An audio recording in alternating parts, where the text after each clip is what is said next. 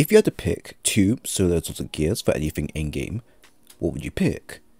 Would you select Celestial Nighthawk, that's great for one-shotting ultras and mini-bosses, but also getting most of his super back? Or would you pick Shards of Galanor, where you can get back around 50% super upon usage, but also getting super back via the melee? This is the question that pops into players' heads when playing anything in-game, but the answer to this isn't so hard to pick. The Shards of Galanor and Dragon's Breath are exotics that will nuke whatever content you have in mind, and I'm going to show you one of the best builds that hunters really should be using. From getting your super and abilities back in minutes, to easily dealing with mini bosses and bosses alone. This is a build worth making into the final shape. So as we have chosen to use Shards of Galanor as our main exotic pick, it would be suitable and ideal to break down why this is the golden pick to use. Its exotic trait, Sharp Edges, states, Throw knife final blows decreases the cooldown of your super. Hit some final blows with Blade Barrage will return super energy after the super ends. Getting a super kill will reward up to 50% super energy back depending on the enemy rank you face. You'll also get a 2.5 to 5% super energy return via melee kills, which would be best paired with Ashes to Assets or hands-on. A new recommended setup to fully maximize the kit would be to invest in full melee mods, perks and fragments, and use those to get our super back within a few minutes. This is possible if you choose to pick it, but you then have to think about how this will work in later endgame content. Hence why my approach is to make the build more flexible, so it can cover a wide number of areas. This will be achieved via fragments, mods and aspects, but most importantly via Dragon's Breath. The exotic trait, Composite Propellant, states, Rockets embed themselves, instruct targets, and periodically eject incendiary fuel that inflicts Scorch. The longer this weapon goes without firing, the more fuel the next rocket contains. Combining this heavy with Ember Searing is all you'll need for generating melee energy back fast, and thus will leave you space to fill in the mod section for something like Ashes Assets instead. As we continuously play, you'll see how fast I can get my super back via melee and grenades only. For aspects and fragments, I have Gunpowder Gamble, where defeating targets with solar abilities, solar debuffs, or solar weapons will charge up improvised solar explosive. Blade Barrage will launch more projectiles, and while Radiant, getting a thrown knife final blow will refund you back. Ember of Char, where your solar ignition spreads scorch to affected targets. Ember of Wonder, where taking out multiple targets with solar ignition generates an of power. Ember of Searing, where defeating scorched targets grants melee energy and creates fire sprite. And Ember of Ashes, where you apply more Scorch stats to targets. As Searing will play a big part with covering how much melee energy we'll get back from gameplay, everything else will then fall in line over time. Ashes will cover all of the items that produce scorching hits and is a must have. Ember Char will allow us to spread scorch to targets after our ignitions have kicked in, which will lead back to our two fragments mentioned earlier, and then Ember Wonder is here for allowing us to produce an extra orb of power for me and my team. Ember Wonder is debatable though, as it can help me and my team with edging closer to having a super available, but at the same time, having something like Ember Combustion will be better as it can link back to Ember Char and cause a large knock-on effect to occur. For the mods and stats section, we're going to invest in resilience, discipline and strength. Out of the three, strength will be the only one that won't get too much investment since it already has quite a bit from the other sources. For resilience, we have ours at tier 10 for a 30% damage reduction. It is recommended to add something like resistance mod to help counter specific elemental attacks to further improve our defenses, but this is down to the user and not solely required. For Discipline, we have ours at tier 10 with a 37 second cooldown of via fusion grenades.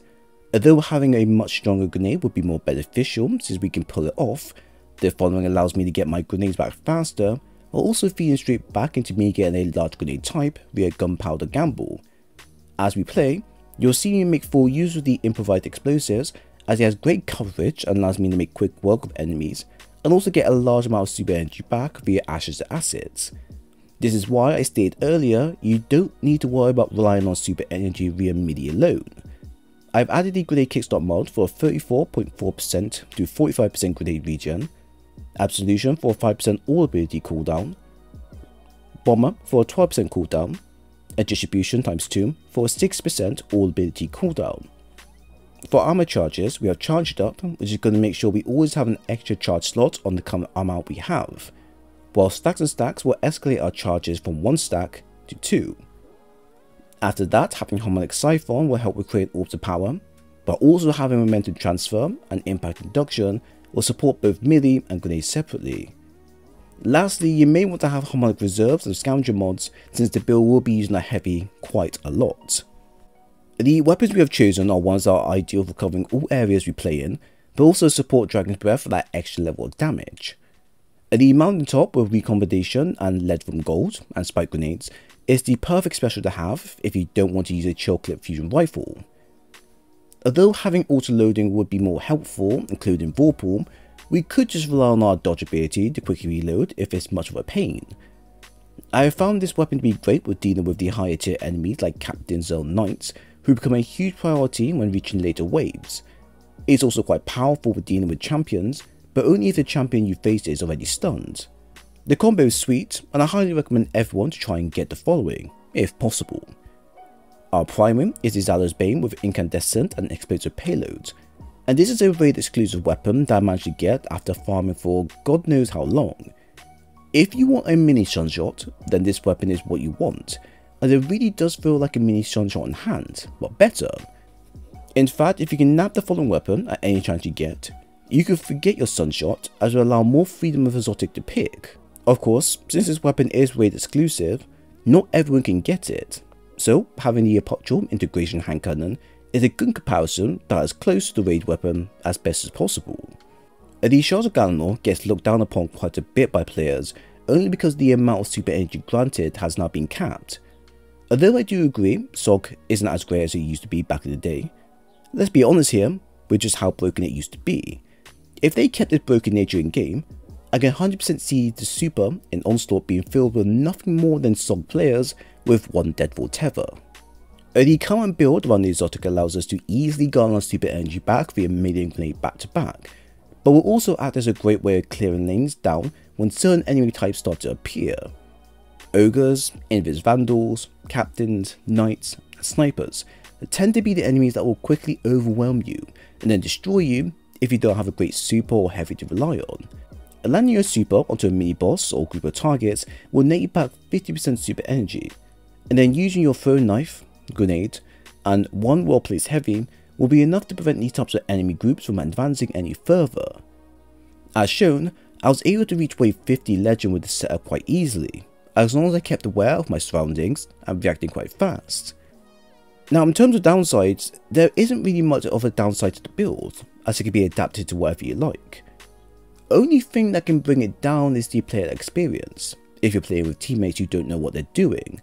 Outside of that, the build is as simple yet powerful as described it to be, so now it's down to you to decide if it's worth investing in or not. But honestly, it's 100% worth an investment. So there we have it, I hope you all enjoyed the build breakdown.